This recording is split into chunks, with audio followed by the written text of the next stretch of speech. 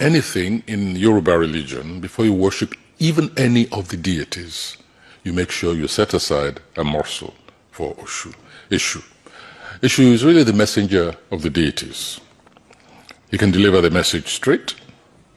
He's always truthful, but he may deliver it in a way without lying that makes you uh, misinterpret the message. But that's because he has a lesson to impart. So when the missionaries came, they looked at this uh, among the other deities the god of lightning, the god of the rivers, the god of purity, the god of war, the god of the the god of the moist elements, etc., etc. Ah, they said, Esu. That's the answer. He, this mischievous person who upsets uh, human plans, that's the devil. And so Esu became, for Christians, the devil, Satan. And even in the Yoruba interpretation, translation of the Bible, each time hear of the devil, Satan, it is Esu.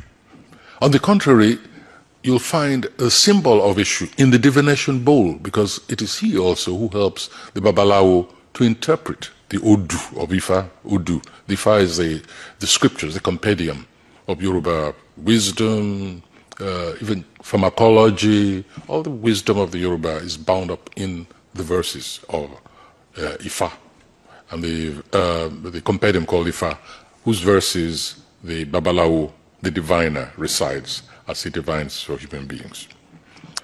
But today, it's very painful to find one's own countrymen and women referring to Esu as the devil. By contrast, look at what happened to Esu when he moved with the slaves to Latin America. Having arrived with the knowledge that Esu was feared by the, uh, by the Christian missionaries, the slaves adopted Esu as their patron deity, just to scare the, uh, the, Christian, the Christians who wanted them to convert. Esu became uh, the paramount as their patron deity, just to scare the, uh, the, Christian, the Christians who wanted them to convert. Esu became uh, the paramount symbol of resistance in Latin America, in the Americas. In fact, it went beyond that.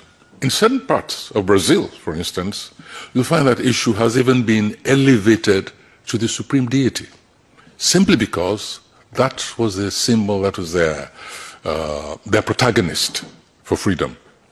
And so you find the transposition of deities across the Atlantic, how not a minor, but certainly a junior deity became not only the symbol of resistance in the New World, but the supreme deity in certain parts of Brazil, like Brasilia, for instance. On the contrary, if you go to uh, Bahia, which is the heartland of the, of the Yoruba in Brazil, and you go to a Yoruba shrine or candomblé, no, the hierarchy is quite plain. But in certain other parts, see, Esu became the supreme deity. Now consider today. Now, this was the history of the missionaries in, in uh,